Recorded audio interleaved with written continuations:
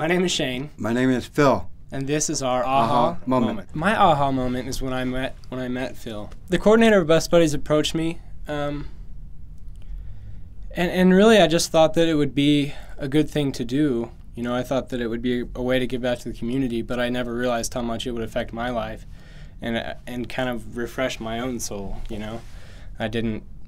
I had no idea what I was getting into. It's like a it's like a brother to me. Um, it really does. It's really like a brother to me.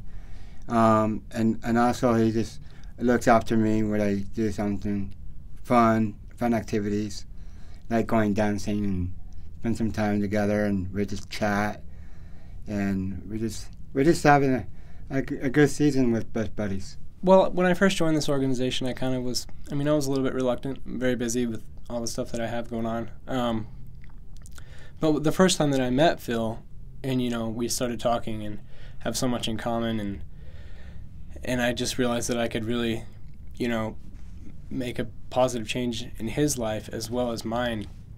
That was my aha. You know, I like I can do make a difference here. we we go to dinner and all that and then we he came over and see my artwork and the things I do and um, and we we always get outside together and we always do um, putting because I love golf. We we both are big golf fans. Mhm. So we'll go play golf and go eat and chase girls around. Regular guy stuff.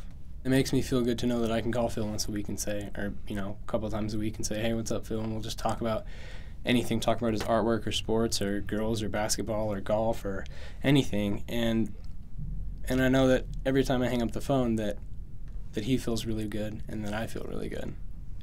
And it's the same thing with every time we go out. He means a lot to me. He really does. Um, it's uh, I'm I live a long way away from my family, and I miss them a lot. Um, and having Phil to go to and to talk to, and you know, it always cheers me up.